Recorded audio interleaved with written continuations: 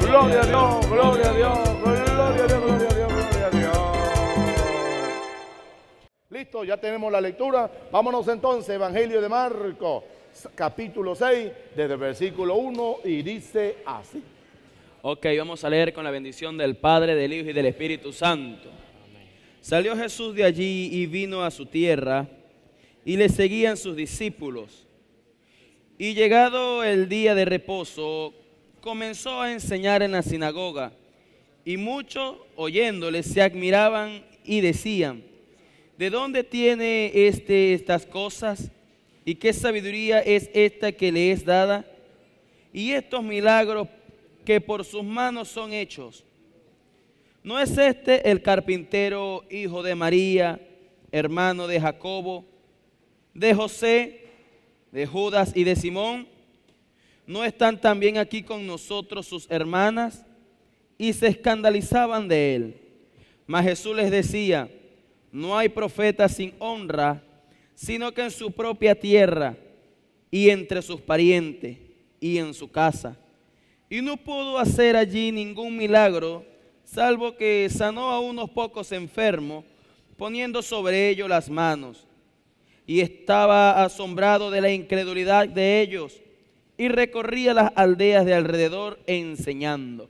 Padre nuestro que estás en el cielo, te damos gracias. Hemos leído tu palabra, usa a nuestro pastor Ali, a los pastores y hermanos que le acompañan en la disertación de esta primera enseñanza. En el nombre de Jesús, amén y amén. Toda la gloria es para el Señor.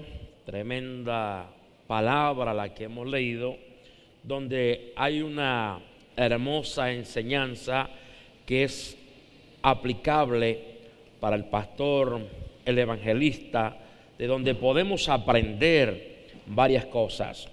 Dice que salió Jesús de allí y vino a su tierra. Notemos que dice su tierra, el lugar donde fue creado, su lugar de origen, su tierra, humanamente hablando. Y dice que le seguían sus discípulos. El evangelista Marcos enfatiza de que Jesús fue con sus discípulos. Esto nos enseña de que no era una visita personal, porque alguien viene a su tierra, ok, va a ver a su familia. Pero en este caso, Marcos resalta, que creo que no lo hacen los otros evangelios, que Jesús vino con sus discípulos, le seguían sus discípulos, es decir, un maestro, un rabino con sus alumnos, con sus discípulos, es decir, está de campaña, no era una visita personal, eh, cuestiones personales, sino que era el trabajo del ministerio de Jesús como maestro, como hijo del Señor. Ok, estamos claros en esa parte. versículo dice, llegando el día de reposo, comenzó a enseñar en la sinagoga. Aquí hay algo que debemos aprender y podemos apreciar en los libros de Mateo, Marcos, Lucas y Juan, que Jesús le sacaba el jugo al día de reposo, que Jesús aprovechaba ese día.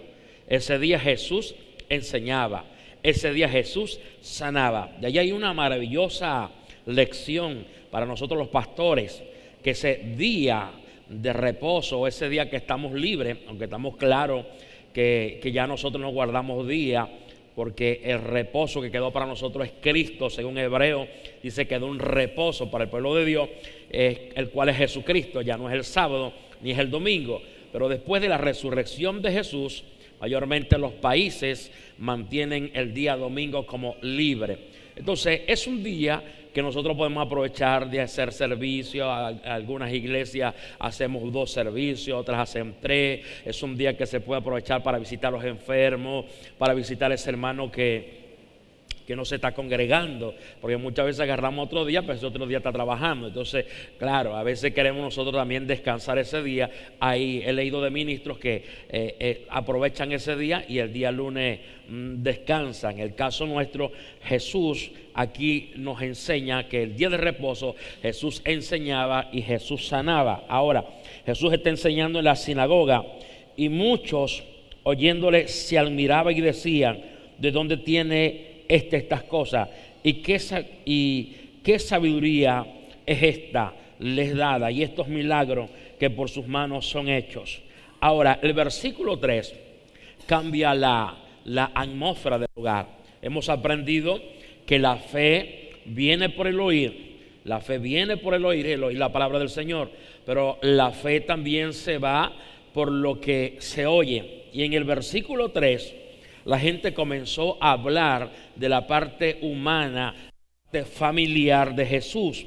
Y dice el verso 3, no es este el carpintero, hijo de María, hermano de Jacobo, de José, de Judas y de Simón no están también aquí con nosotros sus hermanas. Y aquí este versículo echa por tierra la enseñanza católica de que María no tuvo más hijos. Aquí están los hermanos de Jesús en cuanto a la carne, dicen acá esta gente, y también sus hermanos. Hay, Dice, los pentecostales le ponen una chorrera de muchachos a, María, pero es que aquí dice, ahí está Judas, Simón, Jacobo, José y también está sus hermanas. Ahora, la última parte del versículo dice, y se escandalizaban de él. La palabra escandalizar tiene que ver también con ofenderse. La gente decía, bueno, ¿y, y, cómo nos enseñar este? Eh, ¿De dónde aprendió? ¿Quién lo instruyó? Eh, mm, se sentían incluso esa palabra tiene que ver con ofensas, se sentían ofendidos. Y esto formó una, lo que podríamos llamar espiritualmente, una atmósfera donde no pudo Jesús realizar milagros. Van a ver más adelante donde los pastores estén compartiendo que salvo unos poquitos que sanó porque le puso las manos. Ustedes saben que muy pocas veces Jesús ponía las manos. Mayormente Jesús muy poco oraba por los enfermos y poco ponía las manos. Mayormente Jesús soltaba la palabra y los enfermos eran sanados. Lo vemos cuando resucitó a Lázaro. Jesús no se paró frente a la tumba y dijo, Padre, en mi nombre y esto y lo otro. No, no, no, no, tranquilo. Jesús dijo, gracias, siempre me oyes. Y, Lázaro ven fuera y salió. Eso lo hacía Jesús, el poder que había en él. Ahora, en este lugar vemos que Jesús viene de un campañón muy grande, de libertar al loco aquel gadareno, viene de, sanar la mujer de flujo de sangre, viene de resucitar un muerto. Eh, milagros extraordinarios que eran milagros que tenían que ver con la impureza, porque lo que era muerte, eh, tumba, eh, flujo de sangre, y Jesús viene de realizar tremenda campaña y llega a este lugar, por eso decía que es una enseñanza donde puede aprender el pastor y el evangelista. El caso del evangelista a veces sale de una buena campaña y llega a un lugar donde la campaña no es, no es tan buena. Entonces a veces esperamos, ¿no? Que tiene que ser de victoria en todos lados y en todos lados. En el caso de Jesús, ni el mismo Jesús tuvo campañones en todos lados. Aquí en, en Nazaret, Jesús no tiene un campañón como lo tuvo en Capernaum. Es distinto, es diferente. Y nosotros tenemos que aprender eso, porque a veces yo, yo, yo he sido evangelista, soy evangelista también, y sé que, que, no en todos los lugares nos va bien, y a veces hasta nos afligimos, nos angustiamos y nos preguntamos. Pero el caso, si el mismo Jesús viene de un campañón en Capernaum y entra a Nazaret, y en Nazaret vemos que no ocurren los mismos es más, Marco está diciendo que Jesús tuvo que poner las manos, como eh, hacer una buena administración para poder sanar a algunos, salvo a algunos enfermos. Ahora, aquí hay una lección para el evangelista y también hay una lección para el pastor. Nosotros que cuidarnos de algo que se llama el espíritu de familiaridad, que es una enseñanza también para la iglesia. Cuando la iglesia le pierde el respeto al pastor y comienza a ver la parte humana, que yo creo que fue el mismo problema que tuvo Judas. Por eso el, pastor, ser pastor no es fácil, porque uno el pastor corre ese peligro. Uno está en, en dos extremos. Uno, no te puedes aislar de la gente porque tu trabajo es con la gente, con las ovejas, o leer a ovejas es el trabajo de un pastor. Pero el peligro que corre un pastor al acercarse a las ovejas es que muchas veces le pierdan el respeto y no reconozcan la unción que está puesta en ese hombre la parte humana, comienzan a ver la parte humana de ese pastor. Quizás por eso es que a veces vemos gente que llega y dice, y el pastor, no, el pastor está durmiendo. ¿Y cómo es posible que el pastor esté durmiendo? Es un humano que, que dormía Jesús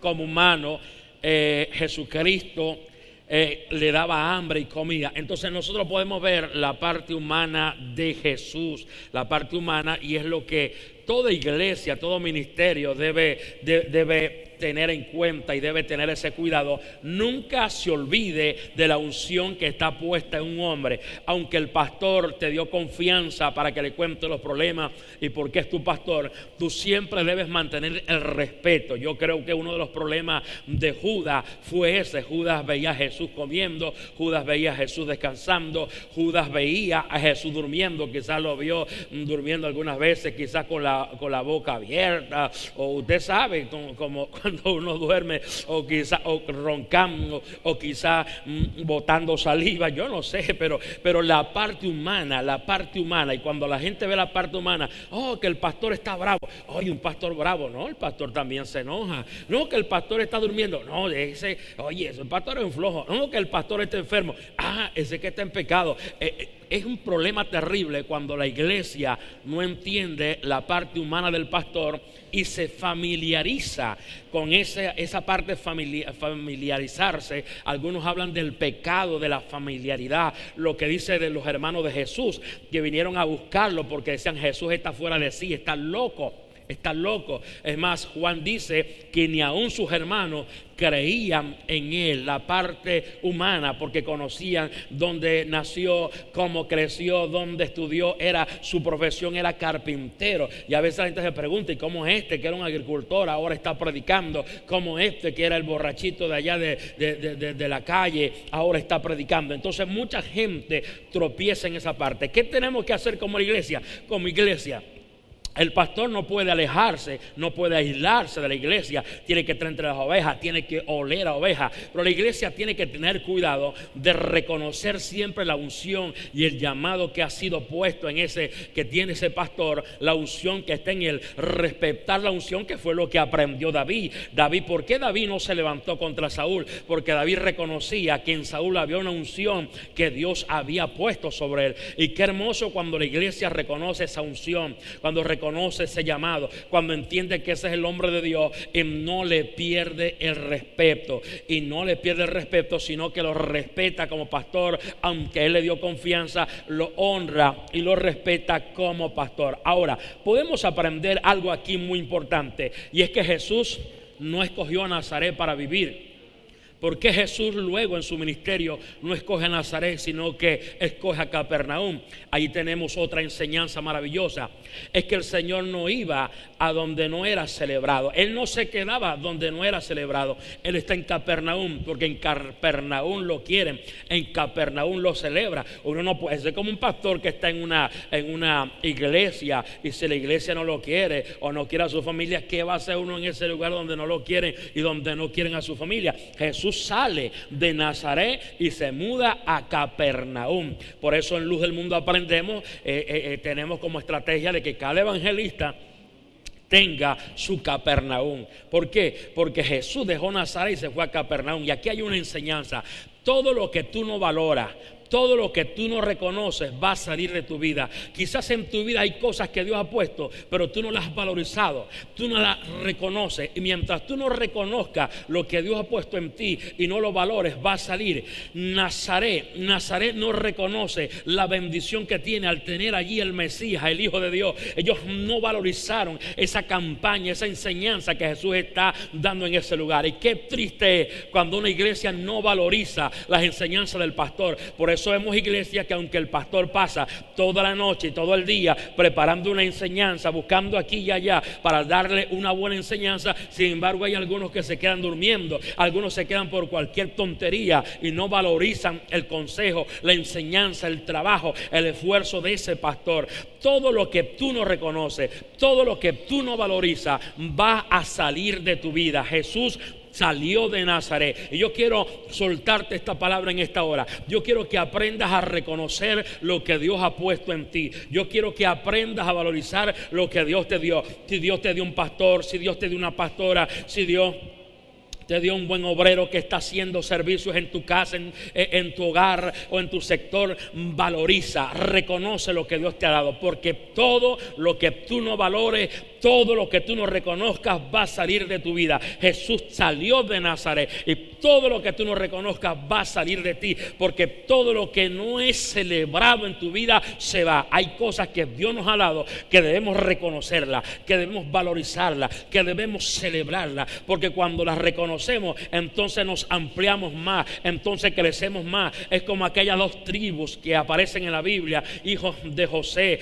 estas dos tribus de, y, que eran hijos de José, dice la escritura que cuando Josué eh, repartió las tierras y le dio a cada uno su heredad, estas dos tribus, estas dos tribus le dijeron a Josué, nosotros somos un pueblo grande y Dios nos ha bendecido. Este lugar es muy estrecho para nosotros. Entonces Josué le dijo, bueno, usted dice que son un pueblo grande y que Dios lo ha bendecido, entonces desmonten ese lugar, posean estos montes hasta sus límites más lejanos. ¿Qué es lo que, qué es lo que está sucediendo ahí? Que las dos tribus, hijas de José, están reconociendo que ellos son un pueblo grande y que Dios los ha bendecido y esto está desatando un monte más grande, esto está desatando lo imposible, esto está desatando cosas grandes. Aprende a reconocer lo que Dios ha puesto en ti, pero cuando tú no reconoces como Nazaret, no reconoce al profeta, no reconoce al Mesías, no reconoce al Hijo de Dios, entonces Jesús tuvo que salir de Nazaret. Y todo lo que tú no reconozcas en tu vida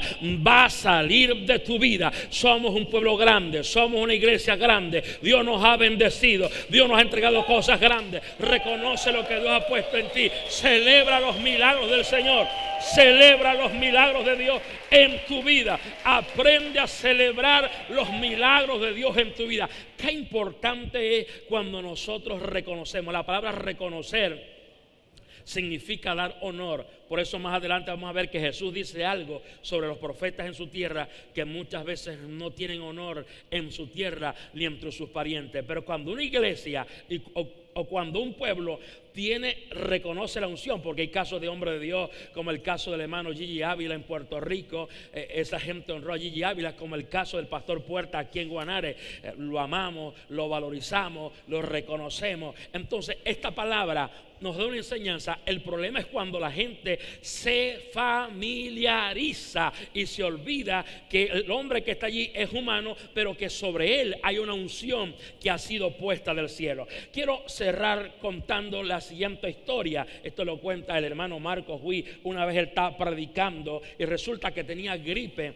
y él se sacudió la nariz, pero no se dio cuenta que los mocos quedaron por allí en el traje. Entonces él está enseñando y mientras él está enseñando, él ve que la gente está así, mirando extraño y la cosa, y él predica y todo el mundo tieso y mirando así la cuestión. Entonces al rato él se sonríe y dice, ah, yo sé por qué están así, porque vieron estos mocos aquí. Este para que vean que yo soy humano también, soy igual a ustedes, porque a veces la gente cree que el pastor es un súper, un súper pastor, un súper evangelista y que no se cansa, que no duerme, que no come, que tiene que estar ayunando todos los días, que tiene que estar... No, él es humano también, también necesita estar con su esposa, con sus hijos, con su familia, descansar también. Aleluya, gloria a Dios. Yeah. Valore ese pastor, valore, valore el pastor, valore el evangelista.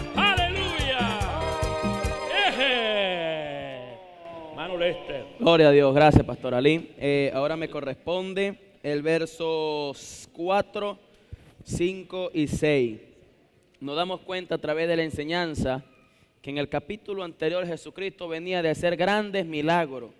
Hizo un milagro tremendo eh, eh, en la región de Gadara, al este del mar de Galilea. Allí libró, libertó a un endemoniado, el endemoniado de Gadara. Luego pasa se mueve, se traslada al lado oeste del mar de Galilea.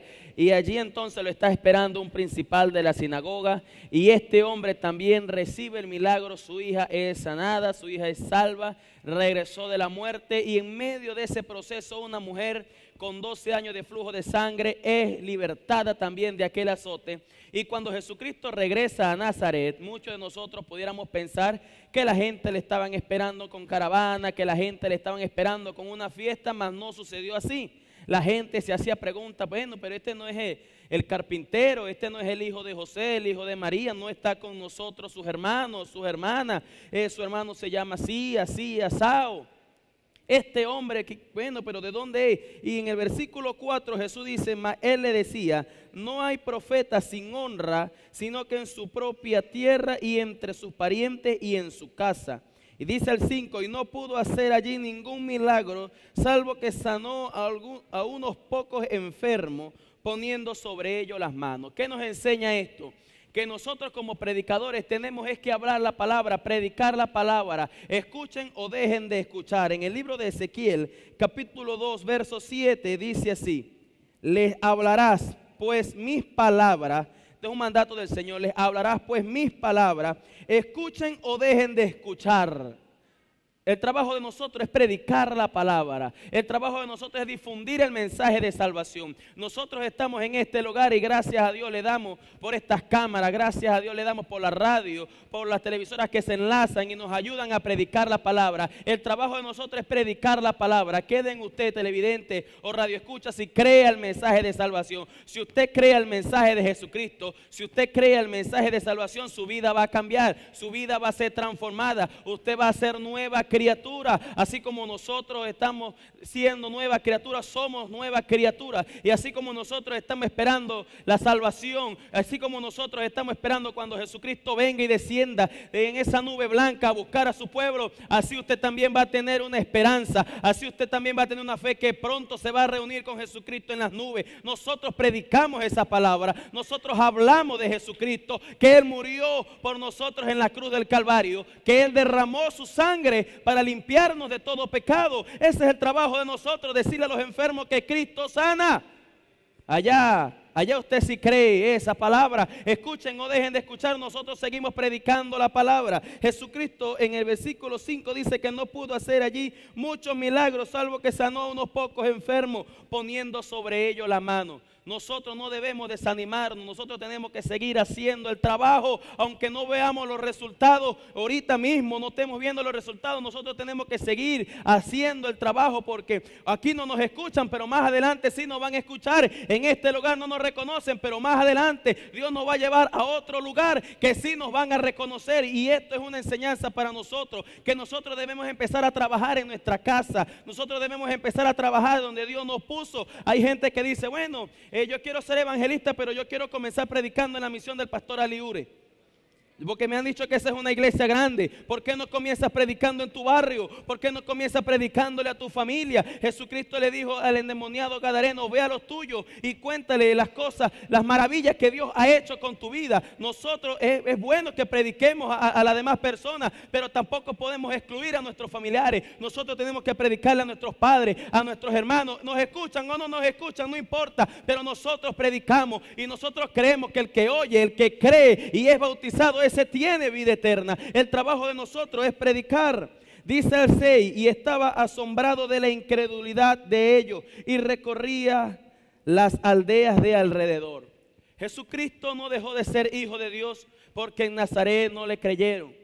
Jesucristo no dejó de ser el Salvador del mundo porque aquí no le dieron la honra que se merecía. Él siguió predicando la palabra de Dios. Él siguió caminando, siervo de Dios, pastores, evangelistas, ministros que predican la palabra de Dios, que le sirven a Dios a tiempo y fuera de tiempo, que le sirven a Dios con alegría. Sigamos trabajando, sigamos predicando, que la recompensa la tendremos en el cielo. Que Dios te bendiga y que Dios te guarde.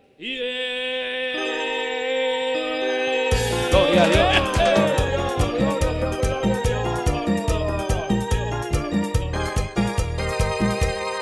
Después de esa experiencia de Jesús en su ciudad de Nazaret, porque allí se alojó para que se cumpliera la escritura que iba a ser llamado Nazareno, volvemos a las limitaciones humanas. Jesús como, como hombre, aunque hijo de Dios, tenía sus limitaciones humanas y ahora tiene que ejecutar otro plan, porque Jesús dice en su palabra, la mies es mucha y los obreros son pocos. Rogad pues al Señor de la mies que envíe obreros a su mies. Y comienza Jesús un proceso de selección de entre sus discípulos para enviarlo a aquellas ciudades. No se detuvo, tuvo victoria en las diferentes ciudades que iba, se asombró grandemente de lo que había sucedido en Nazaret, se asombró cuando hombres de fe los veía, se asombró de la fe, pero ahora se asombra de personas incrédulas que no, no creían a lo que estaba sucediendo. Pero eso no puede detener a Jesús ni nos puede detener a nosotros. Jesús agarra ahora a sus discípulos, según enseña el versículo 7 y 8,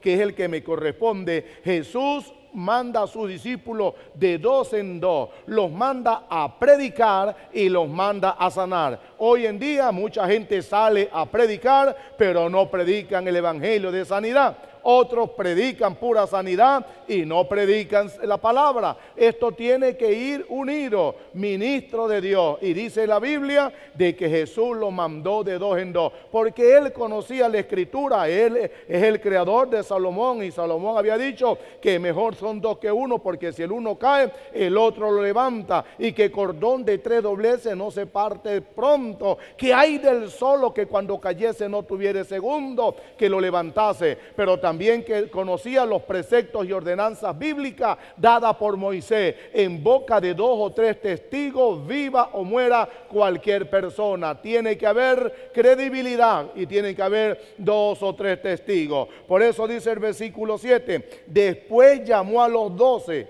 y comenzó a enviarlos de dos en dos. Él como humano no podía estar en diferentes lugares, pero ¿qué hizo Jesús? Los agarró de dos en dos y les dio autoridad. Qué bueno es que el Señor nos entrega a nosotros autoridad también. Lo hizo con los doce apóstoles, o sea que significa que eran seis campañas si las matemáticas no fallan, seis campañas, porque seis por dos son doce. Ay, pobre de aquel que le tocó ir con Judas. Ese Judas para arriba y para abajo, durmiendo con Judas, caminando con Judas. Judas que no quería, porque él era político, él quería. Bueno, qué barbaridad. Por eso la Biblia nos dice a quién le tocó ir con Judas. Usted siempre crea que le va a ir con el mejor. Dice que los envió de dos en dos y les dio autoridad sobre los espíritus inmundos. Ahora Jesús estaba mandando, habían siete campañas continuas porque la mies es mucha y los obreros son pocos. Dios lo llama a uno para que uno dé de gracia lo que ha recibido. Luego el versículo 8 dice, y les mandó. Nadie puede salir de comisión unilateralmente. Tiene que haber alguien que los mande. Como el Padre envió a Jesús, ahora Jesús los envía a ellos y les da ordenanza, estatutos, eh, ordenanza a cada uno de ellos. Y les mandó, oigan las, las ordenanzas, pongan cuidado, que no llevasen nada para el camino. No se lleve a la suegra no se llegue el muchacho, no se lleve a la suegra de Pedro, no, no se lleve nada por el camino. Esta es una comisión para dos. ¿Qué le dice? Si no solamente bordón, ni alforja, ni pan. Ah, caramba, qué aroma tan tremenda. No van a llevar pan. ¿Cómo hace el hermano Henry para comer? Aquí dice, ni pan, tampoco dinero en el cinto. Oiga, solamente va a llevar bordón. El bordón era una, un palo de madera que es un poco más alto que, el, hombre común en la punta tenía como una, una, flecha de, de, acero. Y él judío acostumbraba en esa madera a anotar las, promesas bíblicas. No te dejaré, no, yo estaré contigo en la angustia. Ellos cargaban ese bordón. Dice la Biblia que Jacob adoró encima, al lado del bordón. Eso significa que nosotros tenemos, es la Biblia del día de hoy, cargar la palabra, cargar la Biblia para arriba y para abajo, porque aquí están las 3.565 promesas que dicen los escritores. No podemos dejar esta palabra para donde va sepamos que cargamos nuestro bordón, cargamos el palo de la fe, la cruz de Jesucristo y el santo evangelio del Señor. Así que si usted está de acuerdo conmigo, abra la boca, levante las manos y diga, ¡Y Gloria a Dios, gloria a Dios. Gloria a Dios, gloria a Dios, gloria a Dios. Héctor Carmona. Bien, seguimos con el 10 y el 11 y dice, le dijo, donde quiera que entréis en una casa, posad en ella, hasta que salgáis de aquel lugar. Y si en algún lugar no os reciben, ni os oyen, salir de allí y sacudid el polvo que está debajo de vuestros pies, para testimonio de ellos. De cierto os digo que en aquel día del juicio, será más tolerable el castigo para los de Sodoma y de Gomorra que para aquella ciudad.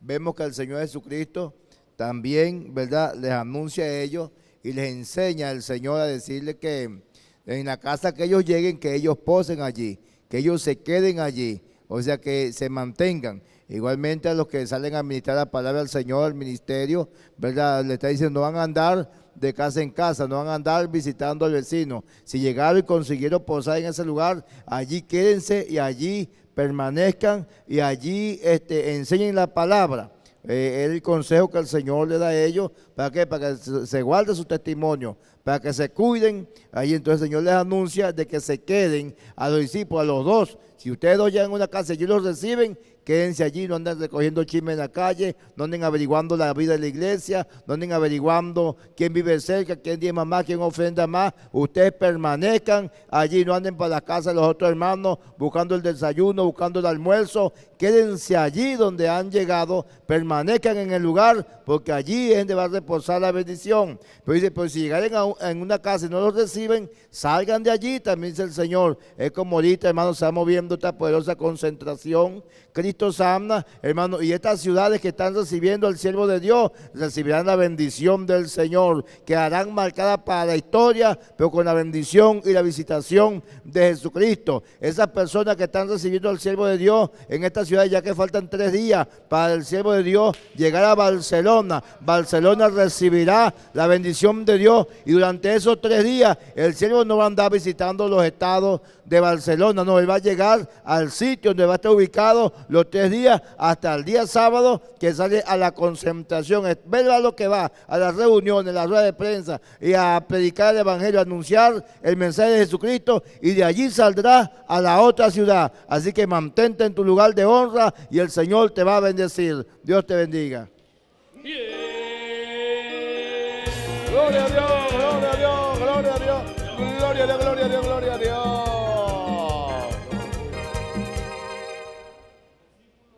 versículos 12 y 13. Y saliendo predicaban que los hombres se arrepintiesen y echaban fuera muchos demonios y ungían con aceite a muchos enfermos y los sanaban. Vemos que saliendo predicaban el Evangelio, predicaban el Evangelio y predicaban para que las personas se arrepintiesen de su mal camino. Vemos que ahora el equipo Cristosana salieron, oiga bien, de Cabimas, Estado Zulia, para llegar, para llegar a una eh, nueva tierra, la cual es Barcelona. Allí el equipo Cristosana va a predicar, va a anunciar el Evangelio. El Evangelio pues es Cristo Jesús, es la verdad, es el camino. Y el versículo 13 dice, y echaban fuera demonios, y echaban fuera muchos demonios, y ungían con aceite, como dice Santiago 5:14. Hace una pregunta, ¿está alguno enfermo entre vosotros? Llame a los ancianos de la iglesia y oren por él, ungiéndolo con aceite en el nombre del Señor. Nosotros pues oramos por los enfermos y los enfermos son sanados. Oramos por la persona que necesita pues la ayuda espiritual, enseguida recibe sanidad, enseguida recibe la transformación. Es por lo tanto que no somos nosotros, es Jesucristo que habita en nosotros, es Jesucristo que hace los milagros, no es por obra para que nadie se gloríe. Bendito sea el nombre del Señor, es Jesucristo a medida que nosotros buscamos del Señor a medida que nosotros vigilamos, a medida que nosotros ayunamos, a medida que nosotros nos metemos con el Señor Jesucristo, bueno, Él es el que hace todas estas señales. Él es el que hace todos los prodigios porque para Él sea toda la honra, sea toda la gloria, sea toda la alabanza, sea toda la adoración. Por lo tanto, que la gente de Barcelona va a recibir, va a recibir nada más y nada menos que los milagros de nuestro Señor Jesucristo por medio de nuestro hermano Así que Dios le bendiga y Dios te guarde.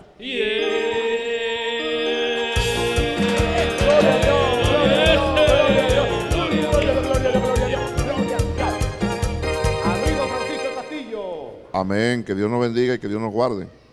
Me corresponde el versículo 14 y el 15. Y dice así la bendita y santa palabra del Señor.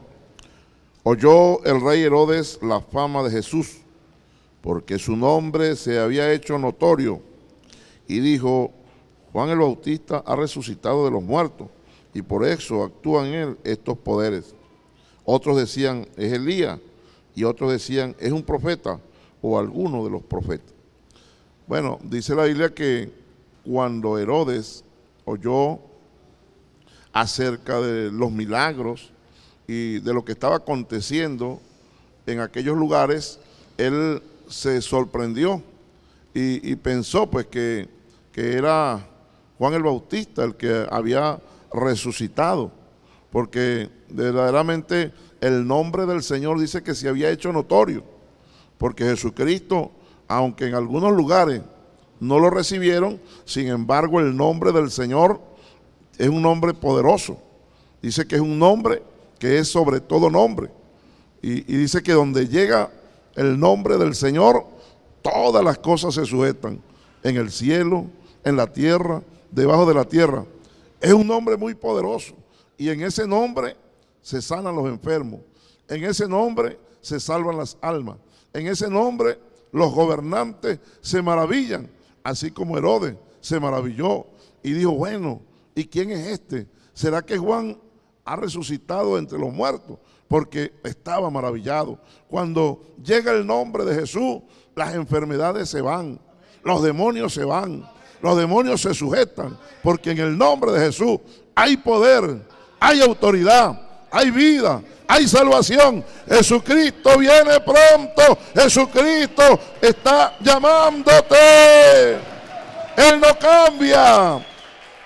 Dice que Jesucristo es el mismo de ayer, es el mismo hoy y es el mismo siempre. Así que tenemos un ejemplo a seguir, el ejemplo de Jesucristo. La gente pensaba y decían, bueno, ¿quién será este? ¿Qué profeta será este? No, es el nombre de Jesucristo, porque Jesucristo cambió la historia, el antes y después. Cuando Jesucristo nació, hermano, se hizo una abertura en la historia, porque Jesucristo es el nombre que es sobre todo nombre, y dice que en el nombre de Jesús todos los pecados son perdonados. Que Dios nos bendiga y que Dios nos guarde.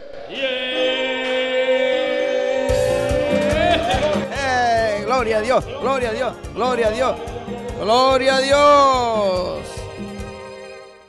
Ok, me corresponde el 16 y el 17 y dice así. Al oír esto, Herodes dijo, este es Juan, el que yo decapité, que ha resucitado de los muertos, porque él mismo, Herodes, había enviado y prendido a Juan y le había encadenado en la cárcel por causa de Herodía, mujer de Felipe, su hermano, pues la había tomado por mujer. Ok, aquí podemos ver una gran confusión que hay en esta ciudad, en este pueblo, porque hoy se oyó hablar de Jesús, del profeta, que venía predicando el Evangelio de Jesucristo.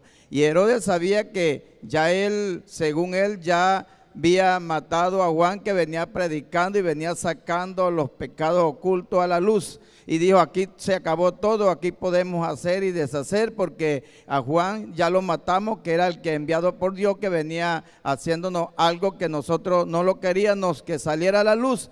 Pero Jesucristo hizo algo muy importante que es lo que estamos viendo nosotros hoy en día también con nuestro pastor Puerta. Jesucristo comisionó a doce en dos en dos y lo, vio, lo envió por todas otras ciudades y él se quedó predicando el evangelio. Quiere decir que el diablo estaba encerrado. Al que no quería oír tenía que oírlo de una u otra forma. Y Jesucristo estaba sanando a los enfermos. Jesucristo estaba haciendo milagros. Jesucristo estaba sacando los pecados ocultos a la luz. Y entonces Herodes dice, bueno, ¿quién es este? Pues si es Juan el Bautista, yo mismo lo mandé a matar, ha resucitado. Estaba confundido porque él creía que se había acabado todo cuando mató a Juan. No, Hoy en día, cuando una persona le hace daño a un evangélico, a una hermana, hoy se multiplican por miles en el mundo porque el llamado es de parte de Jesucristo a predicar el evangelio de Jesucristo. Hoy el diablo creía que aquí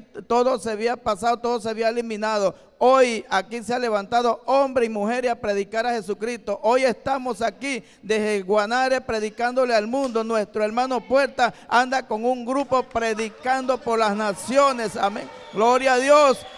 Y hoy nosotros tenemos un llamado de nuestro pastor, nuestro hermano Puerta que son, este, tenemos eh, a partir del primero de agosto, estamos en todos los barrios predicando el Evangelio de Jesucristo, anunciándole a la gente que Cristo salva y que viene un gran evento para Guanare, que Guanare ya que había sido un pueblito que quizás no había sido nombrada en el mundo, hoy Guanare le llegó el tiempo que Dios la ha puesto en grande, como dice Juan eh, en el Juan capítulo 5, versículo 6, que humillado bajo la poderosa mano de Dios para que sea exaltado cuando fuere tiempo. Guanare, hoy es tu tiempo. Cuando ha sido exaltado, cuando tú, Guanare, por mucho tiempo había sido abandonado como un estado pequeño que quizás no había resaltado sobre las naciones. Hoy los ojos del mundo están puestos sobre Guanare porque viene un gran evento para Guanare. Jesucristo viene a salvar las almas en Guanare de tal manera que hoy tú que no te has encontrado sin ningún con problema, con un callejón sin salida, hoy hay solución para tu vida. Hoy ha llegado Jesucristo a Caguanare y está salvando las almas. Y tú eres uno de esos. Que Dios te bendiga y que Dios te guarde.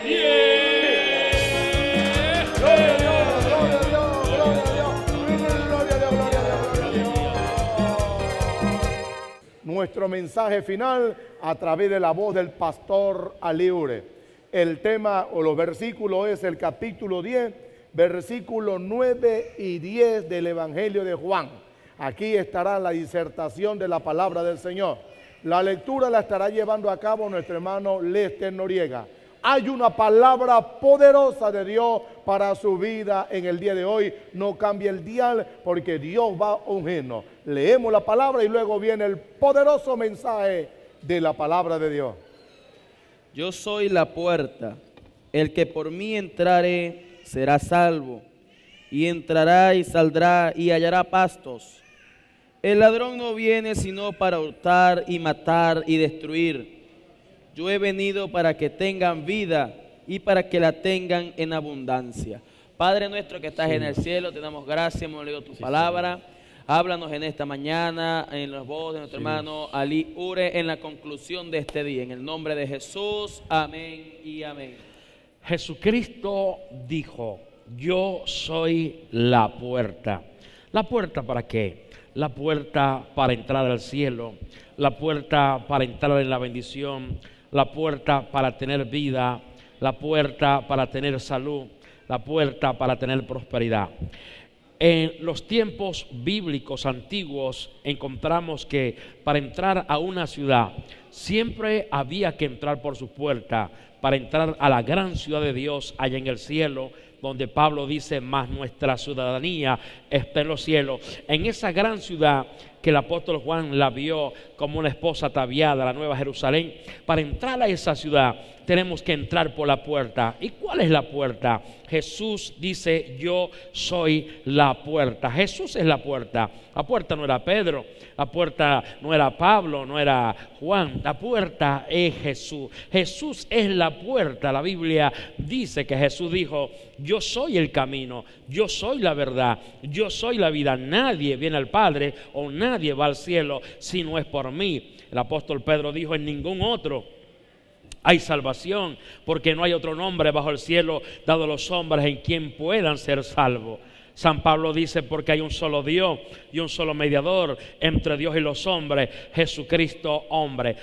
Jesús es la puerta. María no es la puerta, Juana no es la puerta, la puerta es Jesús. ¿Quieres ir al cielo? ¿Quieres tener vida eterna? ¿Quieres vivir por la eternidad en el cielo, en esas calles, caminar en esas calles de oro? Sencillamente tienes que entrar por la puerta recibiendo a Jesús. Jesús dice, yo soy la puerta, pero no solamente Jesús es la puerta, Jesús también es el buen pastor. Por eso aquí dice, el que por mí entrare será salvo. ¿Quieres salvación? Tienes que recibir a Jesús. Dice, y entrará y saldrá y hallará pasto. Aquí está hablando de Jesús como pastor, hallará pasto. ¿Qué significa pasto? Pasto es sustento, pasto es alimento, pasto es descanso. La Biblia dice en el Salmo 23, eh, hablando de- del Señor como el pastor, dice que nos pastoreará, dice en delicados pastos me pastoreará y junto a aguas de reposo confortará mi alma. Aquí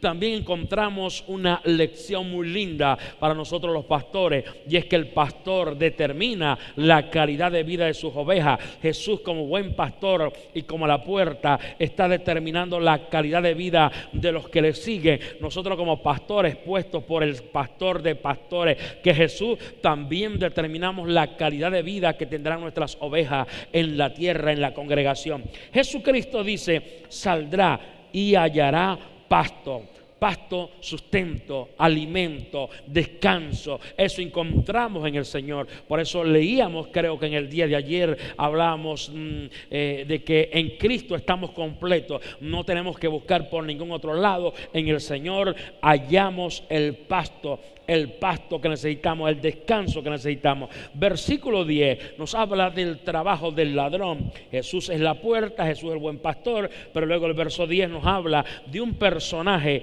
que dice aquí el ladrón. ¿Quién es el ladrón? El diablo, que el Señor lo reprenda. Él es el ladrón.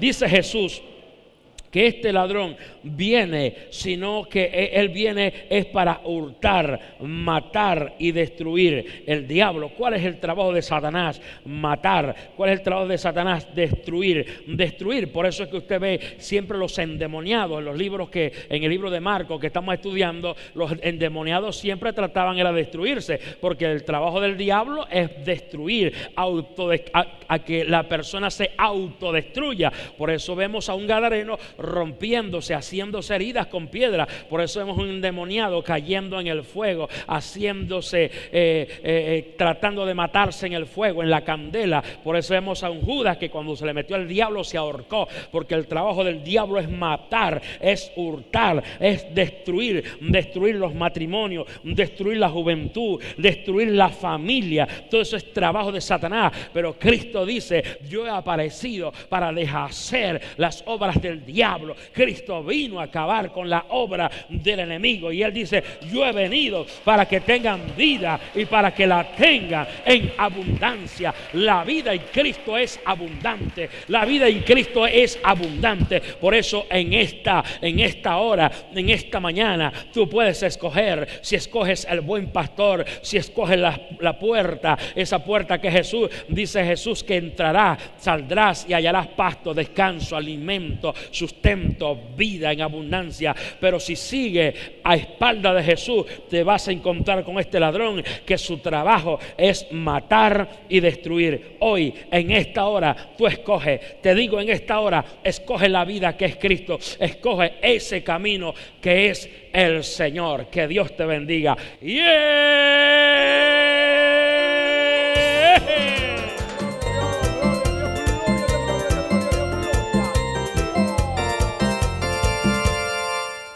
Aleluya, que el Señor nos bendiga. A mí me correspondió el versículo 5 que dice de la siguiente manera. Mas al extraño no seguirán, sino huirán de él, porque no conocen la voz de los extraños. Bueno, aquí el Señor nos habla de la parábola del redil. Dice, mas al extraño no seguirán, sino huirán de él. Aquí está hablando de las ovejas, amén. Que pues cuando venga el extraño, ellas no lo seguirán, sino huirán de él. O sea, el Señor está hablando aquí de nosotros, de su pueblo. Nosotros como ovejas del Señor, Él es nuestro pastor y nosotros somos sus ovejas. Que cuando venga el extraño, el extraño en nuestra vida es Satanás, que el Señor lo reprenda. Que cuando venga el extraño nosotros debemos huir, así como los ángeles le dijeron a Luke, a Lot, perdón, huye, escapa por tu vida. Nosotros debemos debemos escapar, porque muchas veces Satanás nos ofrece, eh, en el mundo nos ofrece tantas cosas, las cosas de color de rosa al principio, pero después vienen las consecuencias. Lo importante es que nosotros como pueblo de Dios, como ovejas del Señor, debemos hu- huir cuando vengan estas cosas, así como el apóstol Pablo le dijo a Timoteo, eh, huye de las pasiones juveniles. Nosotros debemos huir cuando vengan estas cosas. Y dicen, y no conocen la voz de los extraños. Nosotros siempre eh, escucha, conocemos es la voz de Dios, amén. Porque la voz de Dios es una voz celestial. La voz de Dios es una voz, es una, una voz eh, sensible. Mas la voz de Satanás lo que quiere es destruirnos a nosotros. Pero nosotros debemos huir de eso y seguir adelante. Y seguir guiarnos por medio del pastor, el por medio del pastor que es el Señor Jesucristo. Y pues el ángel de la iglesia sabemos que el Señor lo ha puesto, que es nuestro pastor. Ser obediente y obedecer a nuestro pastor y pues seguir al pastor que es Jesucristo. Que el Señor nos bendiga y el Señor nos guarde.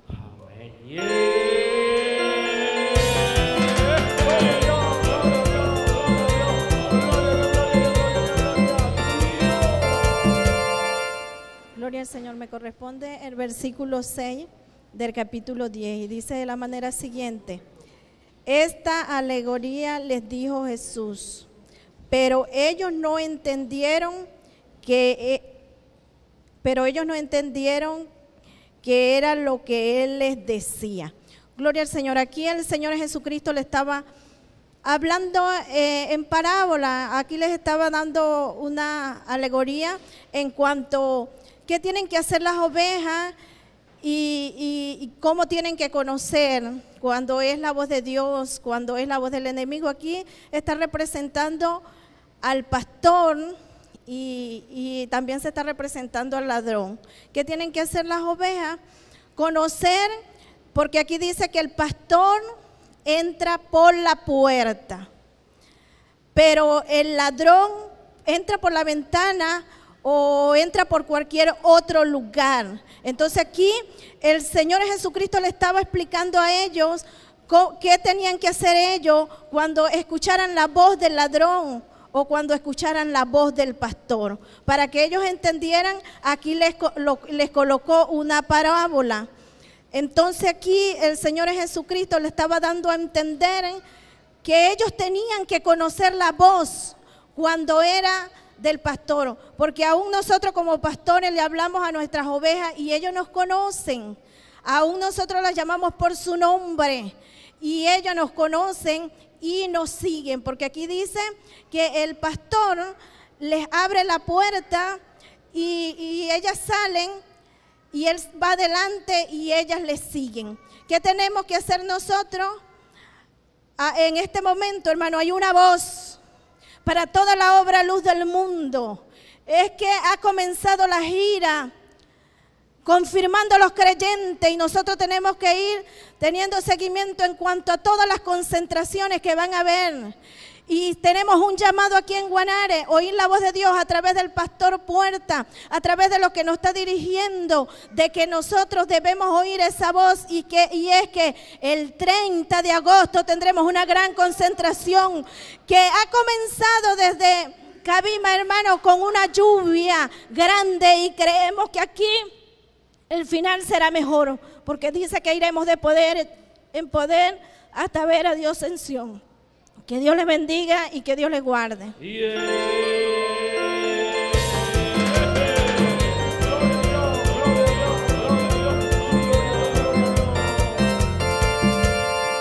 Gloria a Dios.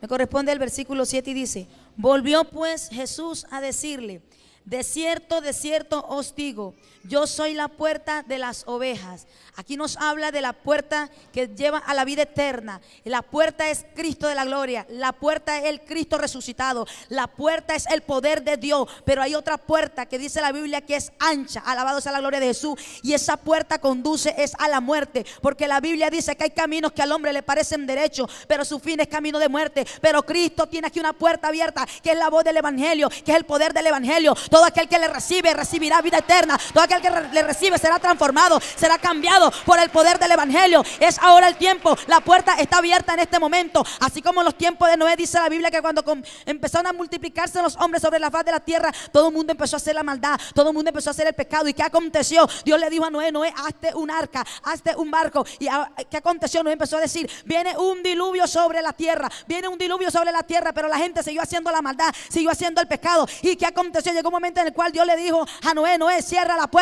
cierra la puerta, cierra la puerta. Y la puerta se cerró y nadie la pudo abrir. Es que la puerta que Dios abre, nadie la puede cerrar. Y en esta mañana está la puerta abierta, está la puerta abierta diciéndote el Señor, entra por esta puerta, entra por esta puerta. ¿Qué quiere decir esto? La puerta, hay que entrar, hay que esforzarnos. Esto no quiere decir que sea difícil, no, no, no hay nada difícil para el Señor, no hay nada difícil para el poder de Dios. Tú tienes que esforzarse a entrar, esfuérzate a entrar, esfuérzate a entrar, porque así como la puerta en los tiempos de Noé se cerró del arca, así también va a ser levantada la iglesia de Jesucristo. Y quizás buscará a los evangélicos, a los pastores para que te prediquen, pero la iglesia no va a estar aquí, porque la iglesia va a ser levantada. Dios me le bendiga y Dios me le guarde.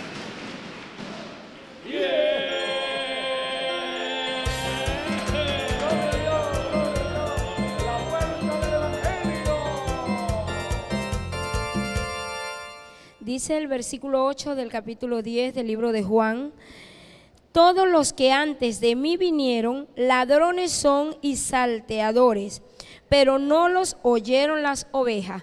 ¿Qué importancia tiene la palabra del Señor en esta mañana para cada uno de nosotros como ovejas? Como ovejas. Las ovejas oyen la voz del pastor y le siguen, le siguen. Aquí la palabra de Dios, el, el Espíritu Santo hablando y dice, él decía que los que vienen antes de, o los que vinieron antes del Señor Jesucristo son ladrones y salteadores. Quizás estás tú pasando, querido amigo, por este, por este proceso en este momento. Queremos decirte, ya como nos han antecedido este, nuestras hermanas, que han dicho que Jesucristo es el pastor y es la puerta de las ovejas. Hoy te brindamos esa puerta, esa puerta de salvación para tu vida, puerta de que no, ya no hay ningún peligro, ya no hay obstáculo que no puedas vencer con la puerta verdadera que es el Señor Jesucristo. Ya estás, en este momento pasando por debilidades, por luchas, por pruebas. Hoy te presentamos una puerta abierta, aunque es angosta, pero cuando lleguemos al final del camino nos vamos a conseguir con una vida eterna, con una vida linda, con una vida de bendiciones, con una vida de hermandad, donde todo va a ser hermoso, donde no va a haber sufrimiento, donde no va a haber lamento, donde no va a haber lloro. En cambio, la puerta ancha te lleva al lloro y al crujir de dientes, donde no queremos que vaya. Hoy estamos en este lugar trayéndote palabra de Dios, presentándote esta hermosa puerta, este hermoso camino que nos lleva a la vida eterna, que nos lleva a la salvación, evitándote que pase por ese mal momento de que cuando te, te vayas de este mundo vayas a abrir los ojos en el infierno. Estamos evitándote ese dolor, estamos presentándote una puerta abierta, la puerta que es nuestro Señor Jesucristo. Y la Biblia dice que las ovejas no oyeron a esos ladrones, a esos salteadores. ¿Eres tú de los que está oyendo en esta mañana? ¿O eres, tú del que está oyendo en esta mañana a esos ladrones, a esos salteadores? Date vuelta, volteate de ese mal camino y oye al Señor Jesucristo. Oye al Espíritu Santo que es el que te da vida, que es el que te rejuvenece como las águilas, es el que te eleva a los lugares altos, te monta en presencia en lugares celestiales y te da vida, vida eterna y en abundancia. Dice la palabra de Dios que las ovejas oyen la voz. Oye tú en esta mañana la voz de ese buen Señor que te está hablando, de ese buen Señor que te está predicando en esta mañana, que te está diciendo, venid a mí, yo soy la puerta estrecha, yo soy el pastor de las ovejas, yo hoy puedo transformar tu vida. Oye esa voz linda que te habla en este día, hoy te puedo librar de la muerte, hasta hoy te persigue el enemigo, yo te doy vida en abundancia, te libro de los males que vienen sobre tu vida. Que Dios te bendiga.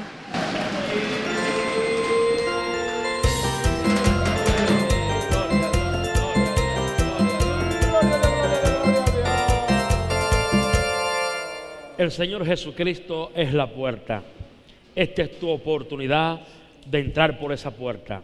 Abre tu corazón. Haz esta oración conmigo. Este es el momento de Dios para ti. No busques por otro lado. Es Jesús, el camino, la verdad y la vida. Así que abre tu corazón y repite esta oración conmigo.